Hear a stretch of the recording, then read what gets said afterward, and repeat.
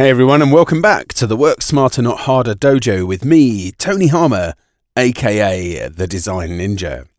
What we're going to do here is we're going to build on and expand on a really popular video here. In fact, it's the fourth most popular video on my channel, which shows how to add a keyline or outline to Illustrator graphics. But we're going to take that forward a couple of steps and also answer some of the most popular questions around it. Okay, so I have this piece of amazing sticker artwork uh, just here. And what I'm going to do, you can see they're all uh, separate elements. This is outlined text with a warp effect on it, and then this unicorn emoji uh, just here. I'm going to select both of those things and group them together. That is the first and most important step for this to work properly.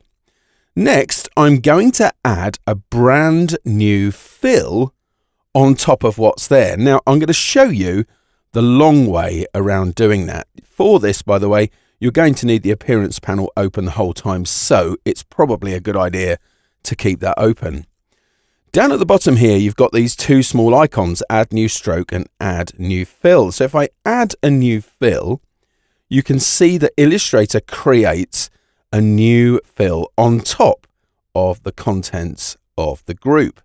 Now, just as a ninja tip, if you want to do that using the keyboard, you can do it by holding down Command, that would be Control on Windows, and hitting the slash key. And that's a nice undocumented shortcut for you. So, really handy thing to be able to do. So what I'm going to do here is drag this fill down in the appearance panel beneath the contents. And then just like you might do with a layer, I'm going to click on it to highlight it and then come across to my effects. Now I'm using the properties inspector here. If you didn't have that, you could go to the effect menu to do this. Come down and choose path and then offset path. I'll turn on preview so we can see what's happening here. And as I increase the offset, I get more of a line around all of the objects there.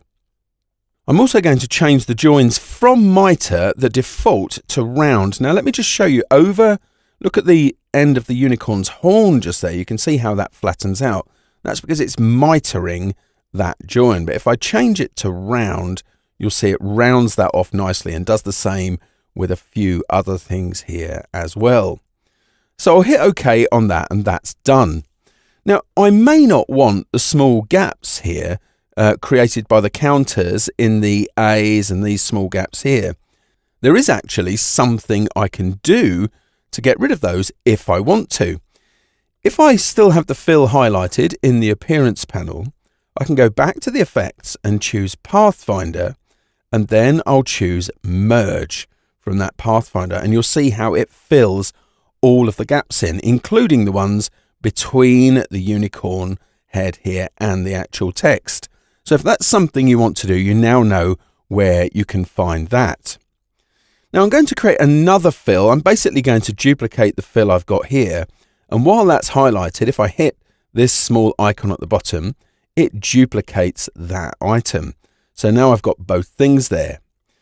On the bottom-most of those two, I'm going to choose a different color. I'll just choose sort of a light color here, like yellow, for example, and then click on the offset path and then just change that to be whatever I want it to be. So I'll make this one slightly larger, like so. There we go. Perfect.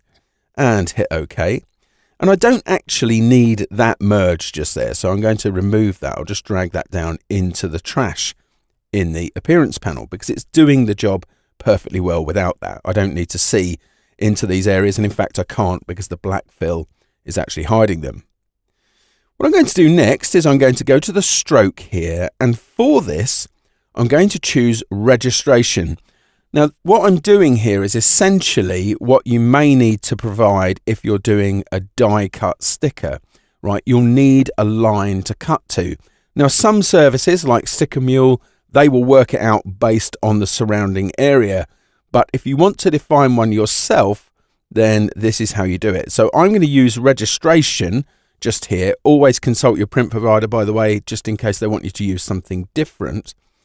But I'll use that, okay, set at one point. Now you can't see that at the moment because it's being drawn on top of the black fill. But If I come down here to the larger offset path, okay, and select that, I'm then going to hold down the Alt or Option key and drag that onto the stroke and you can see that it duplicates that effect. Now this does look kind of funky because it's using all of the different anchor points and creating tons of different shapes. So if I highlight the uh, stroke just here, just to make sure it's targeted, go back to my effects, down to Pathfinder. This time I'm going to choose Add, and you'll see that they all get joined together into one thing.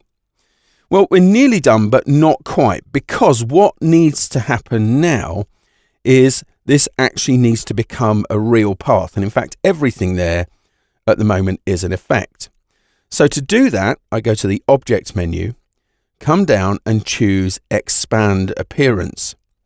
Okay, now at first, it's going to look dreadful. Don't worry too much about that. I'm going to select the path along the outside. Now, as it's all grouped, I'll need to double click here to go into the group in isolation mode, select the path, and I'm going to cut that and then go back to the main illustration by double clicking anywhere empty.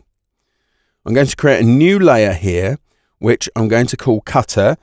Okay, just anything that makes it clear to my service provider that that's what it's for. Sometimes they'll ask you to do die cut or just cut, whatever.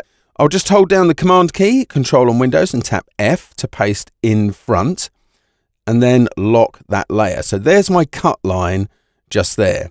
Okay. Now I could also do a little bit of cleanup here as well. So you'll see that when these are all created, they turn into individual shapes once the effect is expanded. Well, I could go in there and do a bit of cleanup if I wanted to. So if I select any, for example, of these yellow shapes. Let's just drill down into those. Okay, and I'll do select similar just there, and then a simple regular pathfinder to make those into one object. Of course, it's not really necessary for you to do that. It's just if you want it to be nice and clean. Now you can save your file. Everything there is expanded and ready to go. You have a cut line. You can change anything you need to change, of course, as well. It's completely flexible but there you are. That answers the top questions around this particular technique. And also, you've learned a couple of other things by using the Pathfinder effect as well. And there we have it. That's it. See you next time.